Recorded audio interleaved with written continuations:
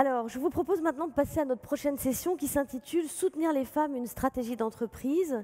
Mais avant d'être soutenue, euh, je pense qu'il faut déjà être protégé contre toute forme de violence, toute forme de harcèlement, qu'il soit moral ou sexuel. Et je vous propose d'ouvrir les yeux sur ces, violences avec une femme conseillère du Conseil économique et social et environnemental qui a écrit un rapport très intéressant sur ce sujet. Venez nous rejoindre, Pascal Vion. Vous êtes où?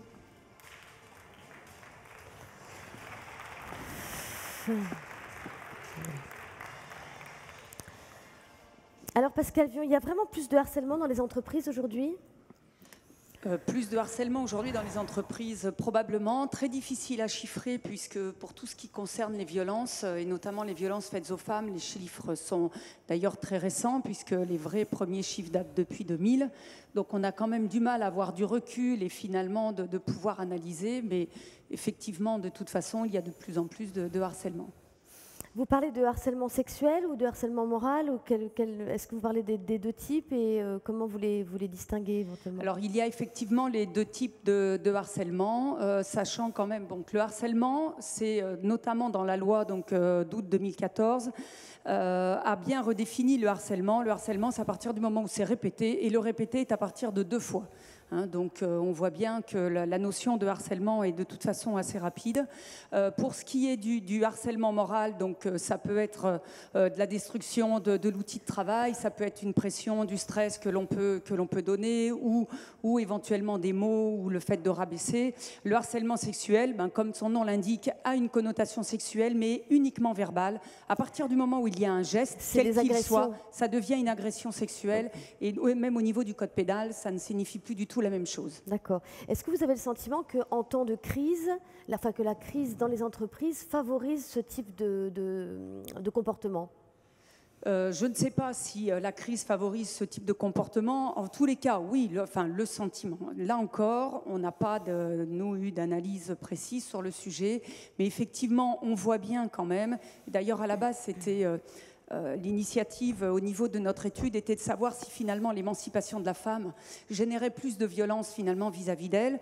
On a eu énormément de mal à répondre à cette question. De violence, vous voulez dire en réaction au fond oui, à, voilà. à la puissance de la femme Voilà, au fait ah que euh, finalement on se rend compte que les violences sont basées sur le modèle archaïque dominant, donc euh, de ah l'homme sur la femme ou du mâle sur la femelle, si on peut remonter assez loin en termes d'anthropologie, et que finalement à partir du moment où la femme commence à s'affirmer, elle peut aussi déstabiliser la position de l'homme, puisque l'homme, on lui dit qu'il faut qu'il soit fort, puissant, qu'il amène à manger. Et à partir du moment où on lui enlève cette fonction-là, ça peut causer euh, certains problèmes. Mais ça n'est pas que.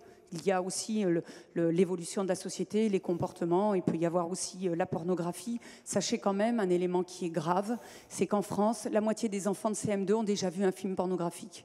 Quand on sait ce que sont les films pornographiques à l'heure actuelle, ils ont toujours été, mais tout cas à l'heure actuelle, il y a quand même une soumission terrible de la femme par rapport à l'homme. Mm. Donc on voit aussi que dans le mode de fonctionnement, ça génère beaucoup de choses, d'où l'importance aussi l'éducation à l'égalité entre les filles et les garçons dès le plus jeune âge. Est-ce que vous avez le sentiment que les directions d'entreprise réagissent? Doucement, de mon point de vue, doucement. Euh, ça commence à se faire, hein, bien évidemment, mais il y a encore beaucoup à faire. Euh, je pense que la première chose, d'ailleurs, c'est de sortir les violences qui sont faites aux femmes du milieu privé et véritablement montrer que c'est une affaire de tous, que c'est une affaire sociétale. Les conséquences sont importantes, les conséquences même pour les entreprises hein, sont importantes en termes financiers, mais en termes aussi de management. Hein, euh, sur le plan sanitaire, il faut savoir que les personnes qui sont victimes de violences ou qui ont été victimes de violences sont des, problèmes qui ont des, personnes qui ont des problèmes de stress, des problèmes de dépression, qui peuvent avoir même jusqu'à des problèmes de diabète, de maladies chroniques. Donc ça a forcément une incidence. Et pour autant, pour l'instant, les entreprises n'osent pas, je pense qu'on est encore dans une société où on dit les violences. Non, non, c'est surtout pas nous. On veut pas voir ce qui se, ce qui se passe. Bien, que la loi, je m'excuse, mais la loi de 2004 oblige maintenant l'employeur hein, à devoir d'abord affirmer hein, qu'il est contre les violences faites aux femmes et que quoi qu'il se passe, il fera quelque chose. Et il a l'obligation de toute façon maintenant d'agir d'agir. Très bien. Écoutez, merci beaucoup. Euh, merci pour votre intervention. Je pense qu'il y a une prise de conscience nécessaire des entreprises, mais peut-être aussi euh, une meilleure formation de la justice, euh, du monde de la justice. Les magistrats sont quand même globalement pas bien formés sur ces questions-là. Et puis, il y a une lenteur procédurale qui, qui fait qu'il y a des, affaires de harcèlement sexuel qui mettent des années à être jugées, ce qui dissuade beaucoup de femmes de porter plainte parce qu'elles doivent répéter sans cesse la même histoire et qu'elles n'ont pas toujours euh, gain de cause très vite. Voilà. Écoutez, je pense que... Il y a le problème de la prise en charge qui est importante. La, la, formation des professionnels, quels que soient les professionnels, dont les professionnels de santé, mais la formation aussi dans l'entreprise, puisqu'on là, on est sur la stratégie de l'entreprise. Il est important que et les responsables de l'entreprise, les managers, mais aussi les responsables syndicaux, hein, puisque bon, les organisations syndicales, ça fait aussi partie de leur rôle, les représentants mm. du personnel, et puis la médecine du travail aussi, déjà mm, ne mm. serait-ce qu'au sein du travail, je pense que globalement, il faut être ouvert à cette problématique. Très bien. Merci beaucoup. Merci beaucoup, Pascal Vion.